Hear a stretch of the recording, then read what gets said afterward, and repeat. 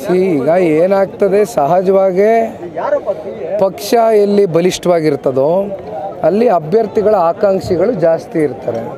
ಹಾಗಾಗಿ ಇದು ಪ್ರಜಾಪ್ರಭುತ್ವ. ಪ್ರತಿಯೊಬ್ಬರಿಗೂ ಕೂಡ ನಾವು ಪಕ್ಷದ ಅಭ್ಯರ್ಥಿ ಆಗಬೇಕು, ಶಾಸಕರಾಗಬೇಕು, ಜನಗಳ ಸೇವೆ ಮಾಡಬೇಕು ಅಂತಕ್ಕಂಥದ್ದು ಎಲ್ಲರಲ್ಲೂ ಭಾವನೆ ಇರ್ತದೆ. ಅದೇ ರೀತಿ ಈಗ ಹಾಸನ ತಾಲೂಕು ವಿಚಾರಕ್ಕೆ ಸಂಬಂಧಪಟ್ಟಂತೆ ಸಿ, ನನಗೆ ಯಾವುದೇ ರೀತಿ ವಿಚಾರವಾಗಿ ಅಧಿಕಾರವೂ ಇಲ್ಲ, ಹಕ್ಕೂ ಇಲ್ಲ ಸರ್, ತೀರ್ಮಾನ ತಗೊಳ್ಳೋದಕ್ಕೆ.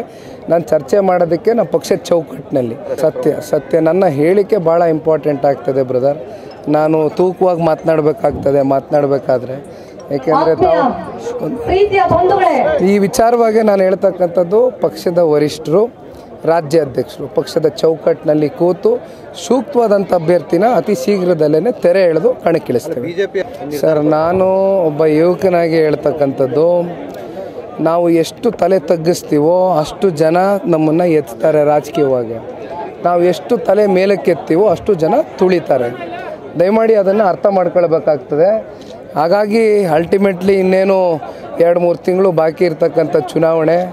ಹಾಗಾಗಿ ನಮ್ಮೆಲ್ರಿಗೂ ವಿಶ್ವಾಸ ಇದೆ. ಹಾಸನ ಜಿಲ್ಲೆ ಇವತ್ತು ಸನ್ಮಾನ್ಯ ದೇವೇಗೌಡರನ್ನ ಬೆಳೆಸಿರ್ತಕ್ಕಂಥ ಜಿಲ್ಲೆ ರಾಜಕೀಯವಾಗಿ ನಮಗೆ ಜನ್ಮ ಕೊಟ್ಟಿರ್ತಕ್ಕಂಥ ಜಿಲ್ಲೆ. ನಮ್ಮ ಜನ ನಮ್ಮ ಕೈ ಬಿಡೋದಿಲ್ಲ ಅಂತಕ್ಕಂಥದ್ದು ನಮಗೆ ವಿಶ್ವಾಸ ಇದೆ ಸರ್.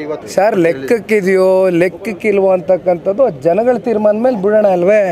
ಇಪ್ಪತ್ತ್ಮೂರು ಎಲ್ಲ ಅದೇ ಅವ್ರೀಗ ಅವರು ಪಾಪ ಏನಾಗಿದೆ ಅವರು ಹತಾಶರಾಗಿ ಮಾತನಾಡ್ತಾರೆ.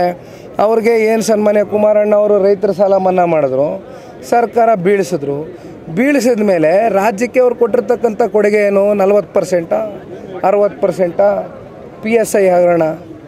ಬರೀ ಹಗರಣದಲ್ಲೇ ಮುಳುಗಿರ್ತಕ್ಕಂಥ ಒಂದು ಸರ್ಕಾರ ಇವತ್ತು. ಬಿ ಜೆ ಪಿ ಹತಾಶರಾಗಿದ್ದಾರೆ, ಸಹಜವಾಗಿ ಮಾತನಾಡ್ತಾರೆ. ಇದಕ್ಕೆ ಉತ್ತರ ಕೊಡ್ತಕ್ಕಂಥದ್ದು ಆರೂವರೆ ಕೋಟಿ ಜನತೆ, ಅತಿ ಶೀಘ್ರದಲ್ಲೇ ಇದಕ್ಕೆಲ್ಲ ಜನತೆ ತೆರೆ ಎಳಿತಾರೆ.